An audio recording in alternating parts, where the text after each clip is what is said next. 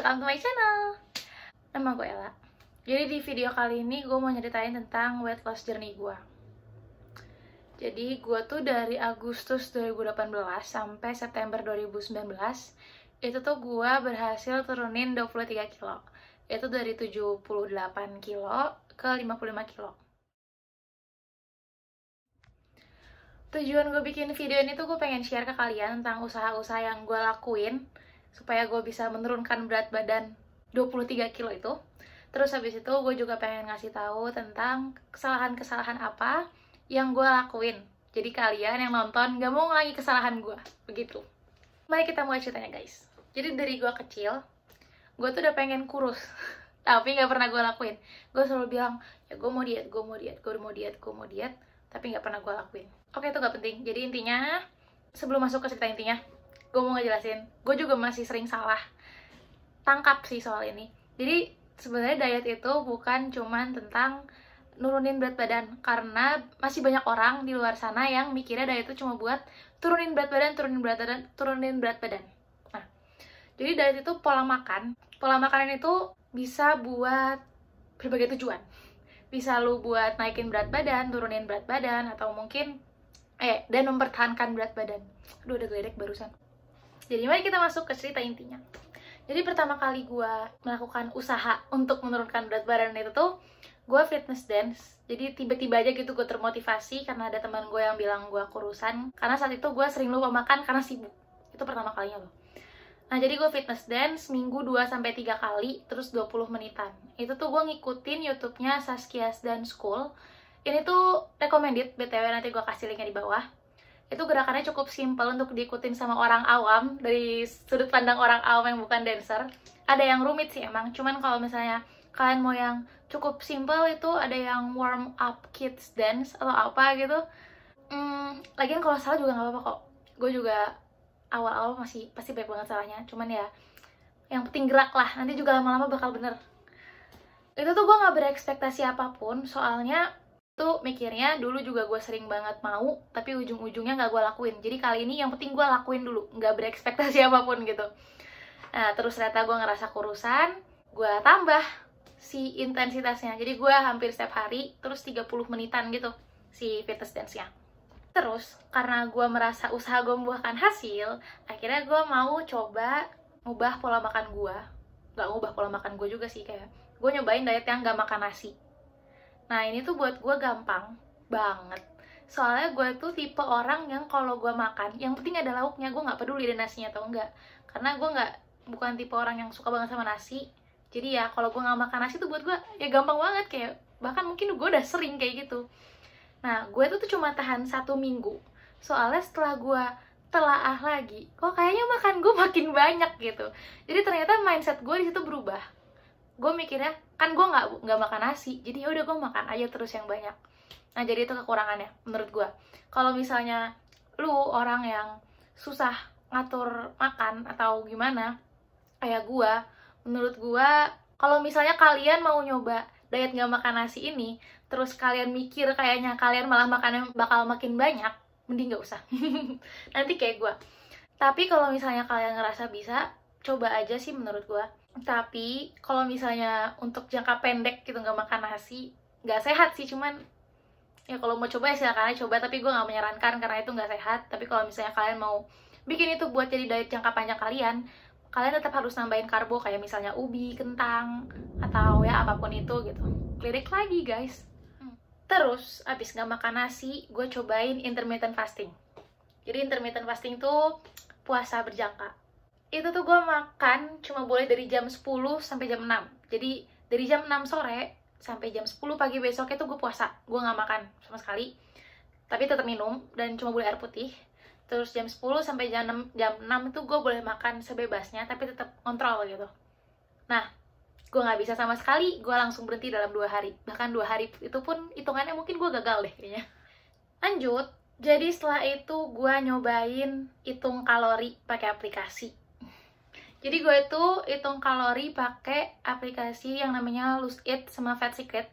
Itu menurut gue dua aplikasi yang paling recommended buat kalian kalau misalnya mau nyoba ngitung kalori. Jadi buat kalian yang belum tahu aplikasi ini apa, jadi aplikasi ini tuh adalah aplikasi yang bakal ngebantu lu buat ngitung total kalori yang masuk ke tubuh lu selama per hari, selama per hari, per harinya. Sesuai dengan goals lu masing-masing. Dia bakal ngatur gitu loh, kalau misalnya goals lu buat naikin berat badan, berarti kalori yang harus lu konsumsi adalah lebih dari kalori lu yang seharusnya. Kalau mempertahankan berarti sama-sama yang seharusnya, kalau nurunin berat badan berarti kurang dari yang seharusnya. Nah gitulah ya. Nah, gue itu, gue tuh pada dasarnya rakus. Gue suka banget makan. Jadi kalau misalnya gue makan perharinya itu tuh bisa kira-kira 2000 sampai 2500-an kilokalori. Eh, kilokalori. Kalori. nah, belum kalau misalnya gue lagi makannya kebanyakan banget gitu. Nah, gue itu langsung ngambil defisit kalori yang paling rendah. Paling rendah. Gimana ya ngomongnya? Jadi kalau misalnya kalian masuk ke aplikasi itu, nanti tuh kalian bakal suruh masukin data diri kalian misalkan umur berapa tingginya berapa berat badannya berapa goalsnya berapa dan lain-lain nanti kalau udah kalian bakal disuruh pilih nih misalnya mau nurunin berat badan nih kayak gue uh, kalian bakal disuruh pilih kalian mau goals kalian tuh satu minggu turun berapa banyak? Ada seperempat kilo, setengah kilo, tiga perempat kilo, dan satu kilo. Dari aplikasinya sendiri, itu mereka sangat nggak merekomendasikan kalian untuk turun 3 per 4 kilo sampai 1 kilogram dalam satu minggu karena itu ekstrim. Nah gue pilih yang 1 kilogram dalam satu minggu. Wow. Si aplikasi itu bilang kalau misalnya gue mau turun 1 kilogram dalam satu minggu itu kalori yang gue akan konsumsi harus 870-an kalori gitu kalau nggak salah sekitaran gitu dan itu tuh berarti jauh banget kan sama kalori gue yang biasanya gue konsumsi dari 2000 sampai 2500 sampai 800-an Nah, 1200 kilokalori aja buat orang diet itu udah ekstrim gitu sebenarnya. Apalagi awalnya gue makannya 2000-an kan, berarti tuh jauh banget lah defisitnya. Nah, tapi ini tuh gue masih sering kelebihan gitu loh makannya. Soalnya banyak yang gue skip gitu makannya. Jadi misalnya gue makan sambal, kayak yaudahlah sambal doang gitu. Padahal sambal itu ada yang banyak minyaknya dan minyak itu tinggi kalorinya. Jadi basically gue harusnya nggak makan 800-an kalori banget sih mungkin kira-kira 800 sampai 1200-an kalori lah nah si hitung kalori ini kelebihannya adalah lu mau gimana pun sebenarnya ini cara yang paling efektif buat tuh naikin atau nurunin berat badan karena pada dasarnya kalau lu emang mau turun berat badan ya lu harus defisit kalori btw defisit kalori itu berarti lu kalori yang masuk ke tubuh lu itu lebih dikit daripada kalori yang lu butuhkan seharusnya di bawah kebutuhan kalori lu gitu mau turun, mau naik, itu tuh kalian sebenarnya emang harus ngitung si kalori itu. Kalau lu mau turun, lu harus defisit defisit kalori pada dasarnya ya itu intinya gitu. Dan satu-satunya cara buat tahu lu defisit kalori atau enggak, ya lu harus hitung. Jadi menurut gua ya ini paling efektif gitu. Tapi kekurangannya ya aplikasi itu nggak akan ngitung kalori yang lu konsumsi persis, secara persis. Karena takaran itu beda. Kalau misalnya lu makan ayam goreng, nih lu makan ayam goreng segede gini misalnya pakai tepung jenis A minyak jenis B gitu terus lu masukin ke aplikasi kalori ini. Kan lu nggak tahu yang di aplikasi kalori ini si ayam goreng yang dia maksud itu segede apa. Terus pakai tepung jenis apa? Digorengnya pakai minyak apa? Apakah yang lebih rendah kalori atau lebih tinggi kalorinya? Kan lu nggak tahu. Emang bisa sih emang bakal bisa. Lebih efektif sih mungkin kalau misalnya lu bisa nimbang itu ayamnya berapa gram segala macem. Tapi ya pasti nggak akan sedetail itulah kalau lu makan. Kecuali kalau emang lu niat. Gue pernah seniat itu jadi ya tapi lama-lama capek juga. Jadi emang nggak akan bisa sepersis itu terus habis itu kekurangannya. Satu lagi menurut gue itu bisa bener-bener memacu lu buat terus merasa bersalah setiap lu makan. Karena gue juga gitu bahkan sampai sekarang gue masih sering. Jadi tiap gue makan gue ngerasa kayak aduh gue makan ini kalorinya banyak gitu segala macam. Dan itu nggak enak banget lah pokoknya. Lalu masuklah ke masa-masa di mana gue mengenal workout. Jadi awal-awal gue nyobain workout itu tuh karena gue mau living, terus gak boleh bawa HP, otomatis gue gak bisa fitness dance. Terus gue cari cara lain, akhirnya gue mutusin buat olahraga setiap hari di rumah live-in gue itu. Squat, terus push up, sit up, dan lain-lain. Terus gue catet di tabel, misalnya gue hari ini gue squat 40 kali, besok gue harus lebih banyak lagi. Hari ini gue sit up 30 kali besok harus lebih banyak lagi dan lain-lain pokoknya gue lakuin itu setiap hari. Saat itu gue nggak berekspektasi untuk turun berat badan karena saat itu gue mikirnya cuman yang penting gue nggak naik dulu. Kalau nggak turun nggak apa-apa yang penting gue nggak naik berat badan lagi. Karena makanannya juga nggak bisa gue tolak itu enak-enak banget. Jadi gue tetap makan kayak biasa. Gue nggak hitung kalori dan lain-lain gue tetap ngemil. Tapi ternyata abis dari lift ini tuh gue malah kurusan gitu ternyata jadi ini menurut gue ini menyimpulkan kalau misalnya lu makan kayak biasa pun lu nggak ngedikitin makan tapi lu tambah olahraga itu sebenarnya lu juga udah kalori defisit kan jadi lu tetap bisa nurunin berat badan. Cuman emang bakal lebih efektif kalau misalnya lu barengin sama pola makan gitu. Abis live in gue nggak mikir workout lagi karena menurut gue workout itu cuma alternatif karena gue nggak bisa fitness dance tapi akhirnya gue masuk ke masa di mana gue bosen fitness dance.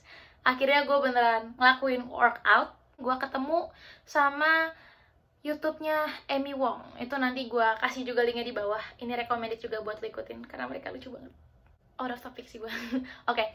uh, jadi gue ngikutin hit workout. Hit workout itu high intensity inter interval training. Itu tuh emang yang olahraga workout yang intensitasnya tinggi. Jadi 45 detik misalnya lu squat terus abis itu 15 detik istirahat terus 45 detik sit up dan lain-lain lu lakuin itu terus sampai 30 menit gitu. Kalau gue ya yang 30 menit waktu gue pertama kali ngelakuin itu gila kaki gue sakit banget men. Jadi hit workout ini dibanding gue fitness dance biasa emang dia lebih ngelatih otot. Dan itu menurut gue emang lebih efektif sih sampai sekarang gue merasakan dampaknya juga. Karena otot lu kalau lu punya otot satu kilogram nih misalnya yang dibakar kalori yang dibakar sama otot itu tuh emang bakal lebih banyak dibanding lu punya lemak satu kilogram jadi sebenarnya kalau lu ngelatih otot lu lu banyakin otot lu tuh itu bakal ngebantu banget buat lu nurunin berat badan. Nah setelah kejadian kaki gue sakit tiga hari berturut-turut itu gue malah kecanduan ngelakuin workout ini. Jadi gue 2 sampai tiga hari sekali gue workout yang 30 menit ini kalau bisa setiap hari. Tapi rata-rata sih mungkin 4 sampai 4 hari sampai yang hari berturut-turut lah ya dalam satu minggu. Karena gue saat itu kayak hmm, gila gue bersemangat banget pokoknya gitu gue juga sering ganti sih kadang yang 15 menit atau bahkan 45 menit. Tapi yang 45 menit emang lebih mudah untuk dipraktekkan lebih gampang buat dijalanin lah dibanding yang 30 menit. Gue makan makin strict saat itu gue makin ngitung segala sesuatu. Jadi yang biasanya sering gue skip itu gue hitung semuanya tapi gue naikin jadi 1200 kilokalori. Sampai akhirnya gue sadar kalau diet gue selama ini salah. Jadi gue tuh singkat cerita gue ketemu channel YouTube-nya Kayulia Batsun jadi dia tuh diet and fitness influencer gitu. Dia tuh bikin gue sadar kalau misalnya kalau gue mau diet juga kalau gue mau diet itu tuh gue harus belajar banyak juga. Gue nggak boleh yang penting lakuin yang penting turun gitu.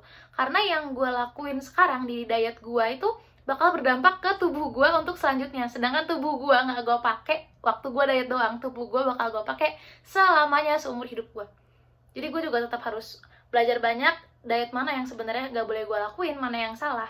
Gue harus makan sebanyak apa dan lain-lain itu gue harus perhatiin supaya ke depannya tubuh gue ya tetap sehat gak bermasalah karena gue diet gitu. Akhirnya jadinya gue sering-sering nyari art sering-sering nyari sering nyari-nyari artikel di internet tentang diet tentang olahraga dan lain-lain terus akhirnya gue ketemu. Kalau misalnya olahraga intensitas tinggi itu jadi ada beberapa website yang bilang kalau misalnya olahraga intensitas tinggi itu sebenarnya nggak boleh lakuin kebanyakan ada yang bilang olahraga intensitas tinggi itu maksimal dalam satu minggu 75 menit. Sedangkan lu bayangin kalau misalnya gue anggaplah 4 kali ya, 4 kali dalam satu minggu ngelakuin hit workout yang 30 menit, itu gue bisa 120 menit.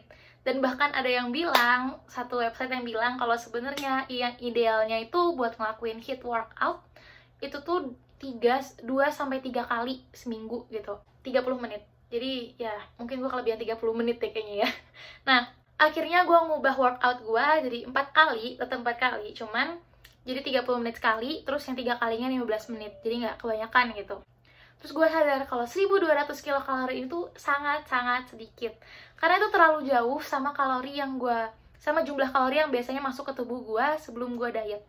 Kan biasanya gue makan 2000 sampai 2500 nih untuk ke 1200 atau bahkan 800 yang dulu itu terlalu jauh. Sedangkan harusnya tuh gue nguranginnya pelan-pelan. Jadi kalau emang maunya gue ngurangin pelan-pelan tuh mungkin gue mulai dari 1800 dulu. Terus misalnya gue kurangin lagi jadi 1700, 1600, 1500 ya nggak harus beda-beda 100 gitu sih. Ya, intinya jangan langsung seabrek-abrek. Kalau gue kan berarti beda 1200 tuh ya dari 2000 ke 800 jangan langsung sedrastis itulah pokoknya terus akhirnya gue mulai nyoba yang namanya hidup sehat. Karena beneran pola makan gue tuh nggak sehat banget. Gue makan junk food gue makan indomie. Ya semua orang juga banyak kayak gitu. Terus gue tuh nggak suka sayur dari gue kecil.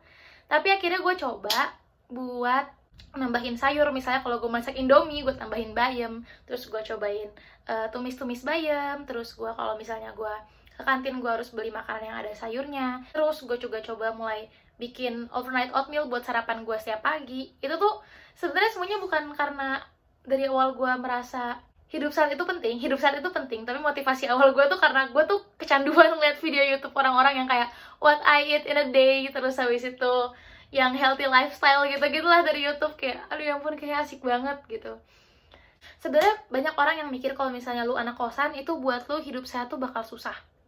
Tapi setelah gue jalanin, gue juga awalnya mikir kayak gitu. Setelah gue jalanin itu sebenarnya bisa kok. Yang penting lu niat lah pokoknya yang penting lu niat karena sayur juga nggak terlalu mahal sih kecuali kalau lu belinya salad gitu di luar ya terus akhirnya gue memutuskan buat berhenti diet btw maaf guys ini lightingnya kayaknya lama-lama berkurang soalnya ini hmm. ini gue udah kayak gini jadi nah mari kita lanjutkan jadi akhirnya gue memutuskan buat berhenti diet. Itu karena berat badan goals gue udah tercapai 55 kg terus karena gue ngerasa ini waktunya ngubah diet gue buat jadi diet yang mempertahankan berat badan. Karena apa? jadi begini, ada beberapa akibat gue diet. Pertama, akibat gue diet itu gue jadi sering merasa bersalah setiap gue makan. Jadi gue kayak jarang banget enjoy makanan yang gue makan. Karena kayak aduh gue makan ini barusan aduh kalorinya banyak banget. Gue sering banget kayak gitu dan itu gak enak banget. Karena kalau lu keterusan bisa jadi eating disorder. Bisa anoreksia atau mungkin bahkan bulimia dan lain-lain gitu. Dan itu bener-bener gak sehat. Jadinya kan hitungannya mental illness juga ya gak sih? Terus metabolisme gue tuh jadi jelek banget jadi lambat banget. Kayak gue bisa 2 sampai tiga hari sekali tuh gue baru BAB sedangkan dulu gue tuh bisa setiap hari BAB gitu. Nah terus kalau gue mau BAB aja tuh gue beneran harus nongkrong dulu sekitar paling cepet mungkin 15 menit. Rata-rata 30 menit gitu. Nah kalau udah 30 menit gitu misalnya baru kayak BAB dan itu nggak lancar itu nggak enak banget nggak enak banget. Tapi emang ya gue makannya sedikit itu apa yang mau dikeluarin gitu. Jadi lama-lama ya emang bakal makin banyak eh makin lambat gitu metabolisme gue jadi ya walaupun gue sekarang nih misalnya makannya udah kayak biasa lagi nih. Tapi ya karena metabolisme gue emang udah terbiasa jadi lambat gitu. Jadi ya susah lagi buat ngembalin metabolisme gue jadi cepet lagi dan lain-lain. Terus yang ketiga menstruasi gue juga jadi nggak lancar. Hmm ini bahaya sih menurut gue. Kalau gue nggak ke dokter mungkin kayak ya udah bye bye gitu. Nggak nggak dapet lagi selamanya mungkin atau eh jangan sih. Tapi gue ke dokter kan. Soalnya uh, udah lama sebenarnya. Jadi kalau misalnya buat yang cewek kan pasti tahu kan. Kalau misalnya kalian tuh pertama-tama mulai menstruasi tuh keluarnya bakal dikit-dikit gitu loh. Kalau waktu mau berhenti juga dikit-dikit kan. Waktu gue mens ini tuh waktu gue dapat sebut aja dapet ya oke. Okay? waktu gue dapat itu tuh dari awal sampai akhir bener-bener yang kayak udah lu mau berhenti dapet gitu. Dan itu cuma kayak dua hari tiga hari and then udah bye. Gue nggak pernah dapet lagi.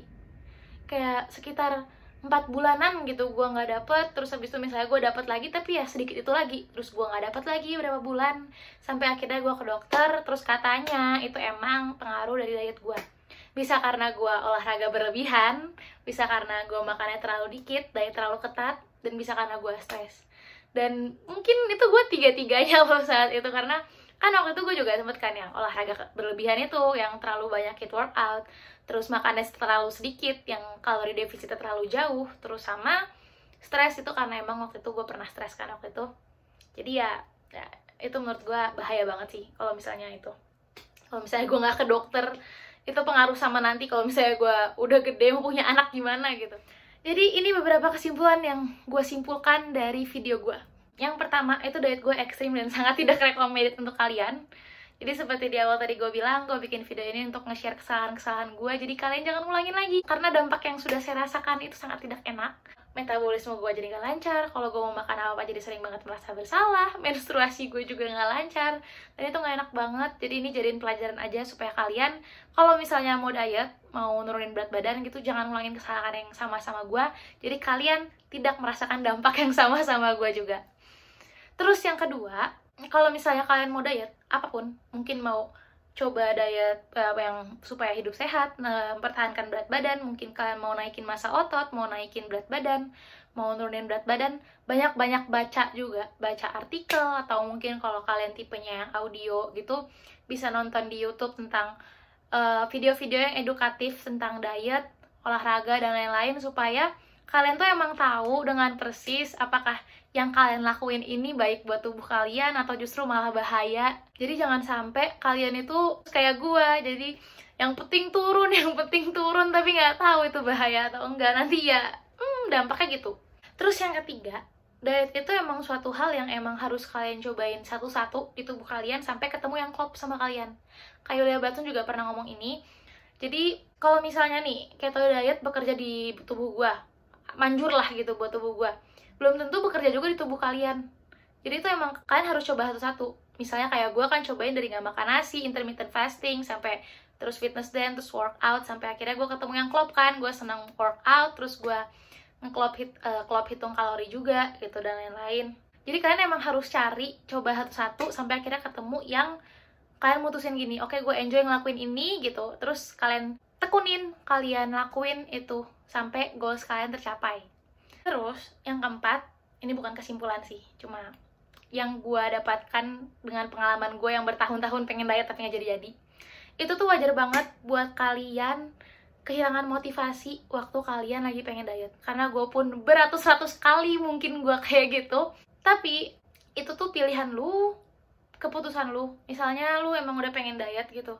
Misalnya ini ke 350 kalinya lu pengen diet. Terus lu lagi-lagi kehilangan motivasi. Itu pilihan lu, lu mau mutusin buat lagi-lagi lu berhenti diet kayak udah males nanti aja biarin aja atau lu mau mutusin buat tetap lakuin lu diet tetap lakuin diet lu meskipun lu lagi kehilangan motivasi itu kesannya terpaksa sih tapi emang harus dipaksa sih menurut gue nah begitu oke okay guys FYI ini beneran udah take kesekian puluh kali untuk penutup video ini. Jadi sekian video gue, semoga bermanfaat buat kalian, semoga nambah informasi buat kalian, semoga juga bisa jadi pelajaran buat kalian, jadi kalau misalnya mau diet nggak ngelakuin kesalahan yang sama sama gue, terus habis itu semoga bisa memotivasi kalian buat baca-baca dan belajar lebih banyak lagi tentang diet kalau mau diet, terus habis itu semoga bisa bikin kalian amin semakin termotivasi lagi kalau mau mulai diet lagi coba lagi diet untuk apa pun itu naikin berat badan atau turunin berat badan ya itu aja gue juga kayak gue capek ngulang-ngulang lagi jadi yaudah itu aja jangan lupa like komen, subscribe, terus share ke papa lu, ke mama lu, ke temen lu, tetangga lu, saudara lu, semuanya lah pokoknya. Thank you udah nonton video gue. Uh, sampai ketemu di video gue yang selanjutnya. Bye guys.